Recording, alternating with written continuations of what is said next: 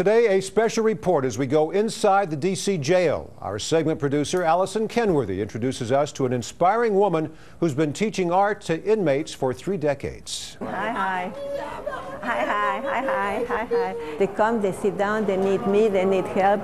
I show them, uh, they show each other, they show me. We, we all work together, we help each other. I would maybe fix the face a little bit here.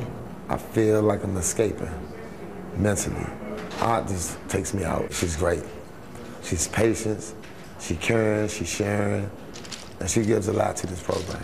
There is so much talent. It's amazing. It's absolutely amazing. It's like opening the door and it all comes, it flo flows out, or opening a window and all the talent, all the, everything flows out and they just develop and they develop so fast and they do beautiful things. I've learned um, how to mix colors, uh, my primaries, some of my secondaries. I'm still kind of struggling with that. I've learned um, how to shade, how to bring things more to real life. This is my most uh, treasured piece. The cricket here is a still life that I drew it from. So maybe you can see some resemblance. Do you need the stencils? Yeah. Art has the power of healing the soul, the body, the every, the mind, everything. It just it takes you away. You become creative. You do you create beautiful things or funny things or ugly things.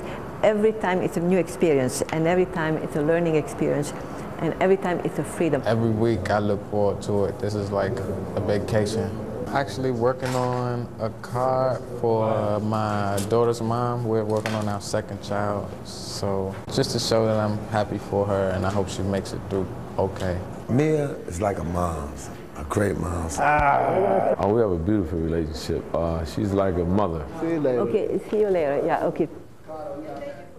Great story. To view more of the work, visit lortonartprogram.org. TBD segment producer Allison Kenworthy, who shot that story, joins me now on set. Mia's full name? Mia is Mia Choumenkovitch. It's uh -huh. a mouthful, but she is an incredible woman. Who's, she really is. She is. She started this program just about 30 years ago, and it all sort of happened by happenstance. A friend called her and said, Mia, I think you'd be great if you would design this program for, um, at the time it was the Lorton prison in Virginia. She said, okay, of course, I'll do that. Uh, fast forward 30 years, and she's still doing it. What I like is the reaction from the inmates because, right. you know, we get these stereotypical ideas about what prison inmates are like or how they're going to react. But you know, it brings out their gentle side, if, if that's the way you want to describe it. But they, but it's a nice diversion, I'm sure, from what they've got going on throughout their normal day. Absolutely, as one inmate said, his name was Warmel Reams. It, um, it's an outlet for him. It, it's a mental escape. Their mm -hmm. mind is off of all of their problems, and the art really soothes their souls. How do they treat her? Like a mother.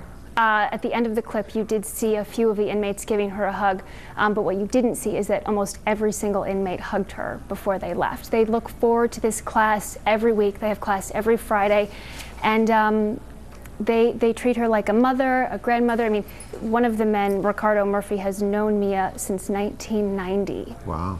And um, something else that's interesting is Mia has quite a few students who, once they're released, go on to pursue art professionally after uh, jail. And one guy in particular um, just graduated from the San Francisco Art Institute and is going to be no completing kidding. his master's program. That's so amazing. There's incredible talent. I enjoyed the story. Allison Kenworthy, thank you for thank bringing you that for to us. Me. See you next time when you have yes. something for us, all right?